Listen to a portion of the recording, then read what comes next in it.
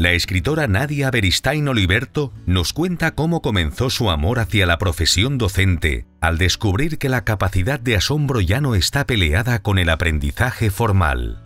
La siguiente propuesta contiene posibles formas de trabajo, descritas en una serie de situaciones de aprendizaje creativas, prácticas y sencillas, con el fin de favorecer los aprendizajes para la vida en la edad preescolar. Ya a la venta en editorialcirculorrojo.com.